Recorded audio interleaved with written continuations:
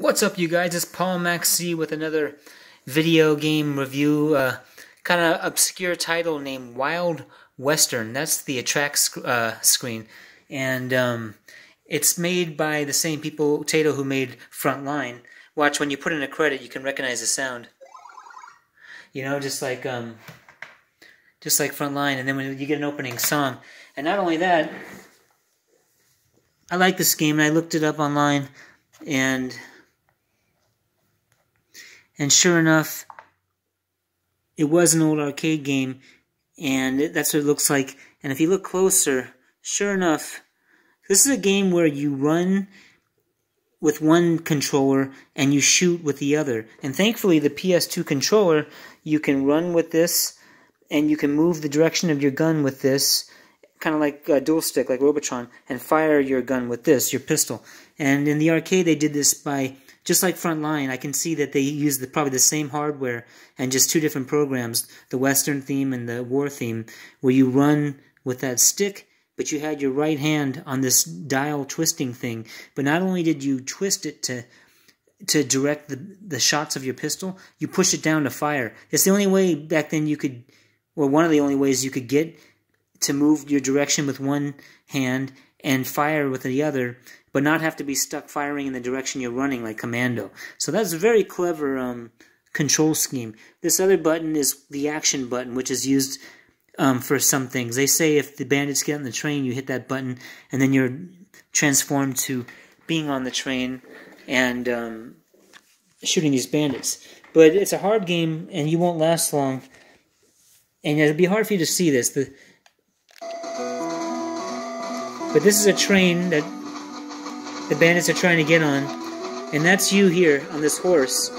I know it's hard to see. And I'm firing shots with my pistol.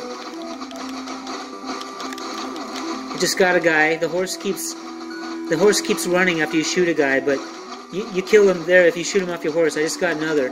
And you gotta watch out for obstacles on the ground. You cannot walk over that cactus or that brown rock. I just got shot. It's hard. Ah, I got shot again. And it says to hit the action button, which is L2, if a bandit gets on the train, then you switch to another mode. Okay, I beat the screen.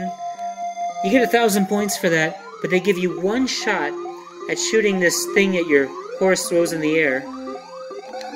I got it! And by getting it, you get 2,000 points, but that's the end of the bonus round. There's just no more. So you can double your bonus round. Screen changes color, like in Frontline. And there's going to be more enemies you have to shoot. I'm on my last guy. Look how it looks just like Frontline at the bottom with the numbers. This is definitely... Whoever made this game, either it's the same guys who made it Frontline, or they had the same hardware at their facility, however you make video games. And I find that interesting. And I just love games where you can move with one stick with your PS2 controller. Oh, too bad I went over the I just lost. They sometimes make you watch a little bit more. But I've, I fell off my horse. Train goes off. And it's game over. I'll try one more time.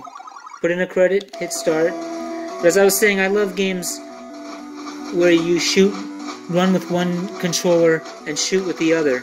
Like Smash TV. Uh, yeah, Smash TV. Robotron. Oh. Black Widow was another one from Atari.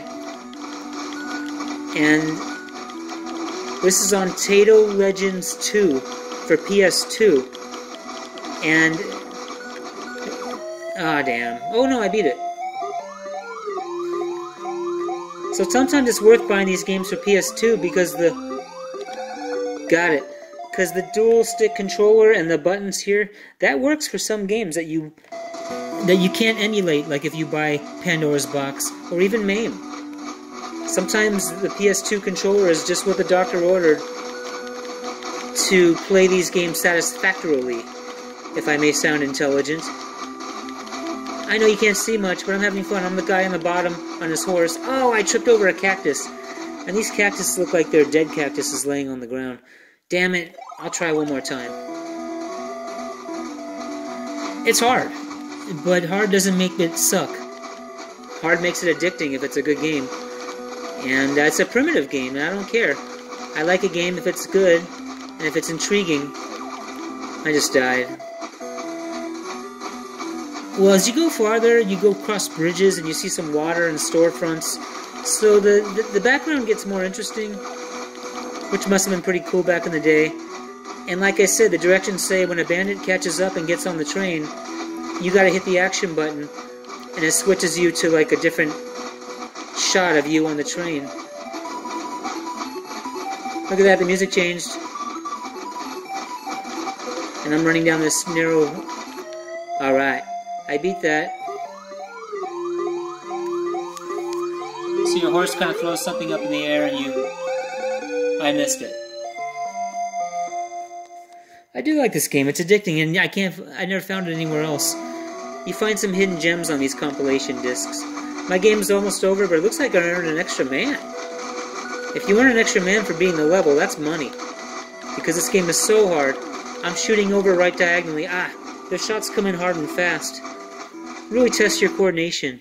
Ah, game over. Well, hopefully, I like the title screen, Wild Western. It's hard, but I want to do better. I want to beat it. And this whole thing where the bandits get on the train and you hit the action button, which is your L2, and then you, they probably, I, I think it takes you to a whole other image. So you're like sh- shooting the the uh, the bandit who got on the train. Too bad I didn't de- demonstrate that for you. But anyway, just another obscure arcade game in tonight in Paul's video games and more. All right, have a good night. Oh yeah, it's on Taito Legends 2 for PS2. Talk to you later.